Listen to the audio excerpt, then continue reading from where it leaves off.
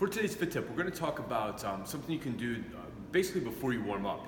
As the weather starts getting cold out here, we find our bodies just get stiffer. It takes a little bit more to get us warmed up. So we've always recommend coming in foam rolling and then we take everybody through a warm up. But in the winter months, it's also a good idea. Maybe come in an extra five minutes, hop on a treadmill, hop on a bike, and just kind of start walking, going slow. You can even jog a little bit if you want. Then from there, go into your foam rolling. So we're just doing some light stuff to get that um, body temperature up a little bit, get into our foam rolling, then from there go into our warm up. What you'll find is your body moves a little bit better and you feel a little bit better. So give that a try as it gets colder.